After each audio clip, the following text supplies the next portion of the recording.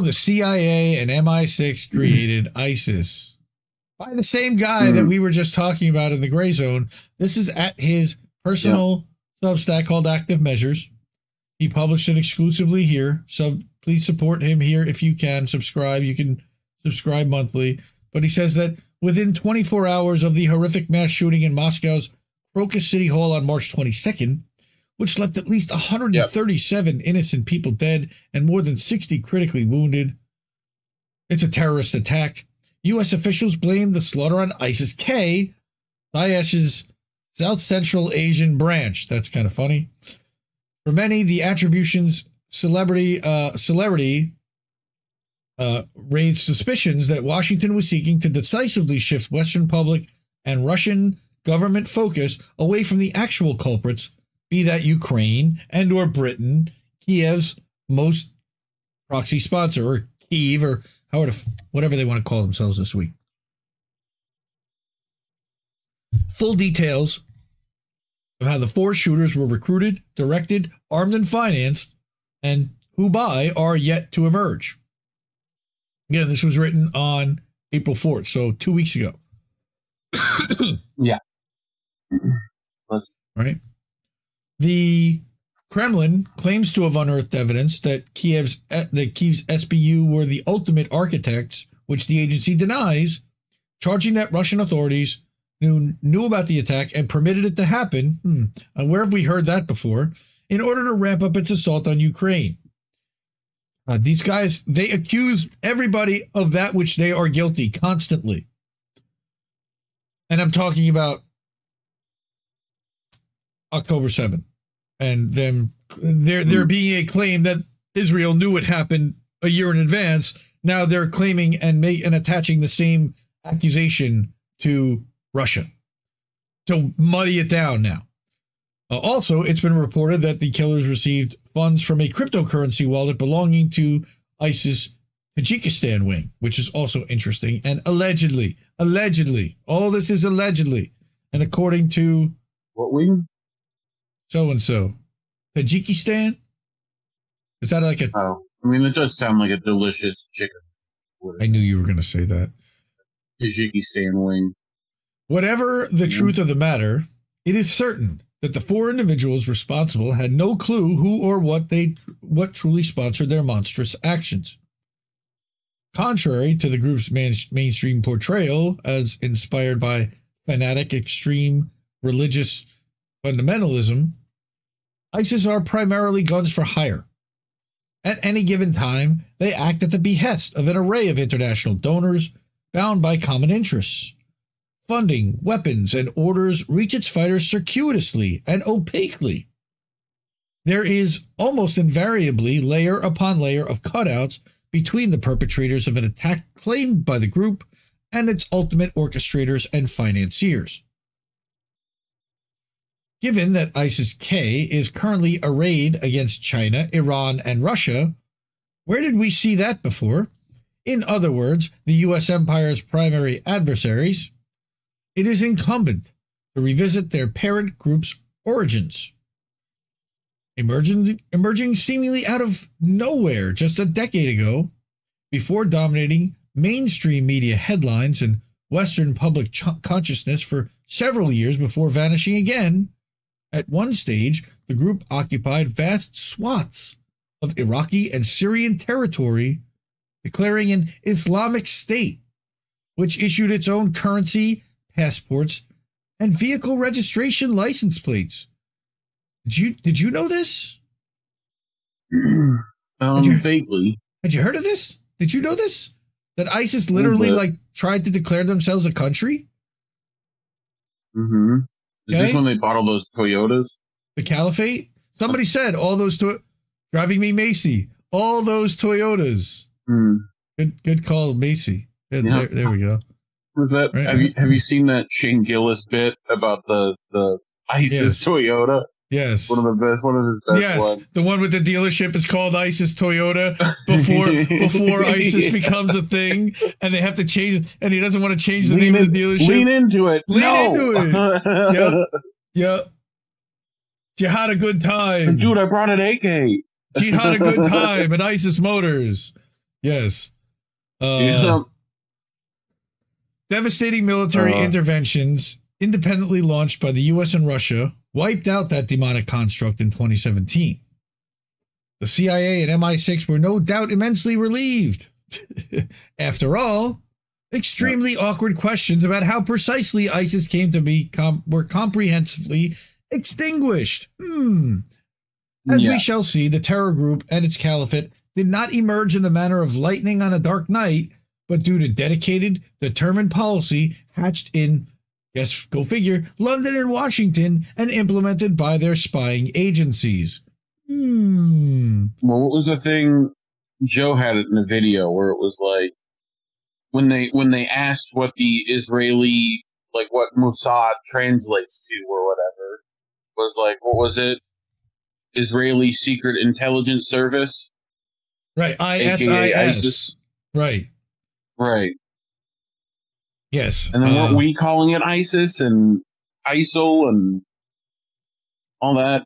Like it changed names three or four times before they stuck with Steph Gee has, has it. Uh, yep. Got that. You got it nailed. Exactly. Knesset.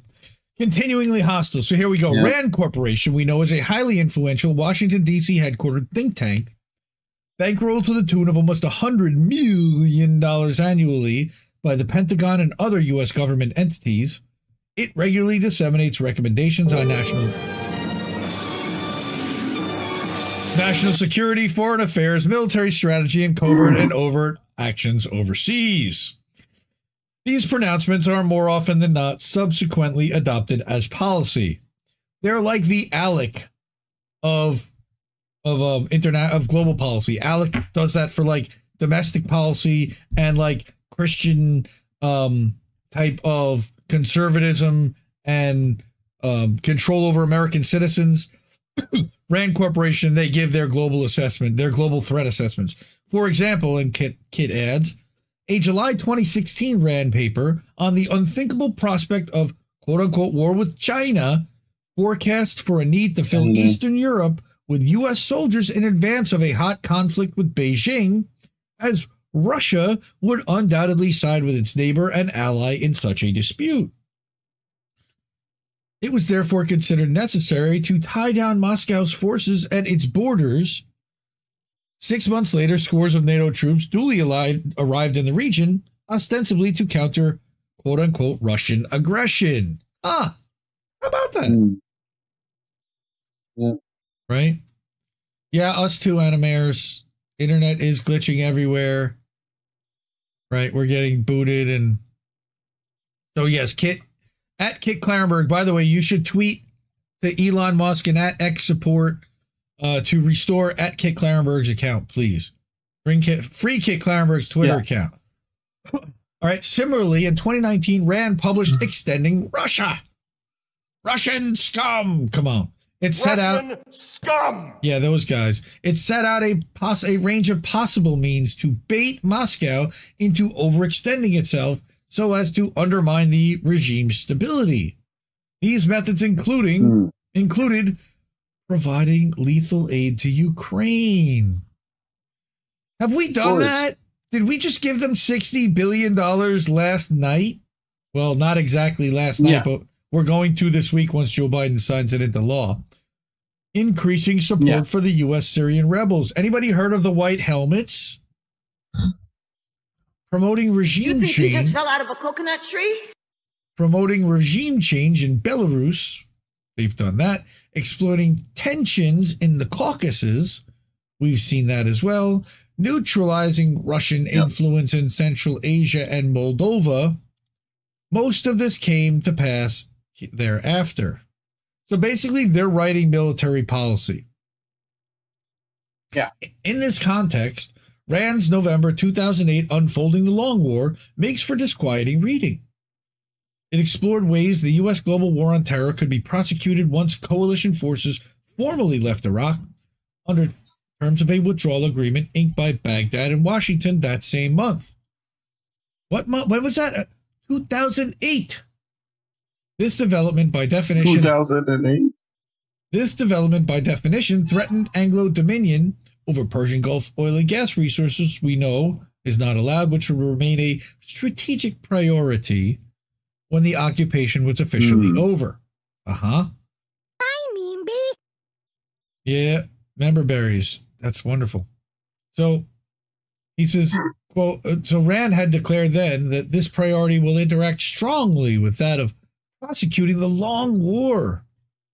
The think tank went on to propose a divide and rule strategy to maintain U.S. hegemony in Iraq despite the power vacuum created by withdrawal. Wait, what? How? Yeah. Under its auspices, Washington would exploit fault lines between Iraq's Salafi jihadist groups. Not that any of them could be potentially like Democrat, like want to govern themselves and be like normal civilians. They're all jihadists, right? That Yeah. all these Salafi jihadist groups would turn turn them against each other and dissipate the energy on internal conflicts. Man, that sounds like what they've been trying to do to the left for three years, while also supporting Mhm. authoritative authoritative Sunni governments against a continuous, continuously, continuingly hostile Iran, which was always the ultimate goal because they are also well funded, I would guess, by AIPAC. I'm sure we can look into that funding. This strategy, quote, relies heavily on covert action, information operations, unconventional warfare, and support to indigenous security forces. Indigenous. the U.S. and its local allies could use the nationalist jihadists to launch proxy campaigns to discredit transnational jihadists in the eyes of the local populace. This would be an inexpensive way of buying time until the U.S. can return to its full attention to the region. They're, they're saying it Hmm. right now out loud. They're saying the quiet part out loud. U.S. leaders could also choose to capitalize on the sustained Shia Sunni conflict by taking the side of conservative Sunni regimes against Shiite empowerment movements in the Muslim world. Nice that the Rand Corporation at least acknowledges the difference between Shia and Sunni. And then they Yeah. published this motherfucking thing. Ay, ay, ay. Yeah, Right. yeah. Oy vey? Uh, Oy I, I'm not going to give this an oy vey, but this is the a Rand Corporation chart, an incomprehensible graphic from the Rand report called The Current Dominant Factors and Examples of How U.S. Actions Can Be Represented. Look at what's going on there. You've literally got a section that says perceived bias toward Israel. Hmm. Well, you know, All right. nice if they care about someone, I guess. Great danger. You know. So it was. Ugh. that CIA and MI6 began supporting Sunni nationalist jihadists throughout West Asia at the suggestion of Rand Corporation, that obviously has deep ties to CIA. The next year, Bashar Mhm. Assad rejected a Qatari proposal to route Doha's vast gas reserves directly to Europe via a $10 billion, 1,500 kilometer long pipeline spanning Saudi Arabia, Jordan, Syria, and Turkey as extensively documented in WikiLeaks released diplomatic cables, thank you, Julian Assange, U.S., Israeli, and Saudi intelligence immediately decided to overthrow Assad by fomenting a local Sunni rebellion and started financing opposition groups for the purpose. I'm going to stop Hmm. right there for a second Fomenting discord, you say? Fomenting discord. Yes. Um they were fomenting discord. They tried to undermine but assad must go right? They've been trying to undermine Yep. assad and get rid of him because of this. A pipeline. Look at how far back this effort became turbocharged in october 2011 with MI6 redirecting weapons and extremist fighters from Libya to Syria in the wake of Gaddafi's televised murder. Who led that Murder. revolution, by the way? fuck. I can't Ah. believe you've done this. Yes, the CIA oversaw that operation using British intelligence as an arm's length cutout to avoid notifying Congress of its machinations. Only in Mm. June 2013, with then President Barack Obama's official authorization, did the agency's cloak Thanks, and dagger Obama. Did the agency's cloak and dagger connivances in Damascus become formalized and later admitted under the name Timber Sycamore. If you want to learn more about Timber I ain't heard of Sycamore, ask our friend Steve Poikonen about Timber Sycamore. He'll tell you all about it. And here's the New York Times article about Well, the thing about sycamores is It's great. The behind the sudden death of a Yep. billion dollar secret CIA war in Syria. Even the New York Times had to publish and admit this shit. Okay? There's the Toyota trucks you were talking about. Yep. he says Toyota. At this time, Western officials universally referred to their Syrian proxies as moderate rebels. Yet Washington was well aware its surrogates were dangerous extremists seeking to carve a fundamentalist caliphate out of the territory they occupied. An August 2012 U.S. Defense Intelligence Agency report released under Freedom of Information laws observes that events in West Asia were taking a clear sectarian direction, with radical Salafist groups the, ma- the major forces driving the insurgency in Syria. So, what does that mean? These factions included Al Qaeda's Iraqi wing, AQI, and its umbrella offshoot, ISI, the Islamic State of Iraq. The pair went on to form ISIS, a prospect that the Defense, the, the Defense Intelligence Agency report not only predicted, but seemingly endorsed. Here's the quote Yeah. from the report If the situation unravels, there's the possibility of establishing a declared or undeclared Salafist principality in eastern Syria. This is exactly what the supporting powers to the opposition want in order to isolate the Syrian regime. ISI could also declare an Islamic State through its union with other terrorist organizations in, in Iraq and Syria, which will create great danger. Will Robinson. Danger, Will Robinson. Despite such grave concerns, the CIA continued to dispatch unaccountably vast shipments of weapons and money to Syria's moderate rebels, well knowing that this aid would inevitably ding ding ding what would it what would it end up end up in ISIS's hands yes Mhm. Moreover, Britain concurrently ran secret programs costing millions to train opposition paramilitaries in the art of killing while providing medical assistance to wounded jihadists. London also donated multiple ambulances purchased from Qatar to armed groups in the country. Wait, didn't that wasn't that group called the White Helmets? like that. Leaked You documents. only if you sniff a backpack once or twice. maybe leaked Yeah. documents indicate at the risk uh, indicate the risk of equipment and personnel from these efforts being lost to Al Nusra, ISIS, and other extremist groups in West Asia was judged unavoidably high by British intelligence. They knew that there was a good chance that these would fall into these people's hands. Yet there was no con- concomitant. Great band name. By the way, you had two great band names in this article already. You got Moderate Rebels, great punk band. There was already a show. you know, look, Um, Max then- Blumenthal, Max and, and Ben Norton used to have a channel and a show called Modern Rebels, a podcast. That was outstanding. It's one of the first leaked- things I found. out. Leaked Documents is another good band name. Um, Oh, I thought you were going to say Al Nusra, Mhm. ISIS, and other extremist groups. I mean, that's that's their opener. That's the leaks Documents opener. That's a punk band if I ever heard Um, one. Right? Yet there was no concomitant strategy for countering this hazard at all, and the operations continue to pace. No surprise. It's almost as if and Training and- almost as if training and arming ISIS was precisely the desired outcome of MI6. yeah, And a mayor stating what Jimmy Dore did, we are the terrorists.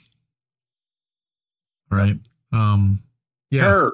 Golden Monarch, that chart looks like a nuclear bomb, that design chart. Yep. It's really bad. All right. So that's Kit's active measures. Go go subscribe there. Go support him. KitKlarenberg.com. That's just his his URL. He bought the personalized one just like we did. if you have well, we've had plenty of longies, but if you have not already and you are of a means and able to and are getting value here, we do this on a volunteer basis and on a user funded basis. So whatever you can do to help us, there are some ways to support monthly subscriptions on Patreon, Substack, one time donations on Rumble, Cash App, and then we're going to put up a QR code, which already is up or was up. Uh, and here. There we go. That's for Jesse's computer fund. Charlie Mack hooked us up on Friday night on the Jesse stream. And uh and we're at 47% right now. We're almost halfway to our $1,000 goal to help Jesse there. Uh, we'll get to Jesse coming to New York City. I know we talked about that last week. So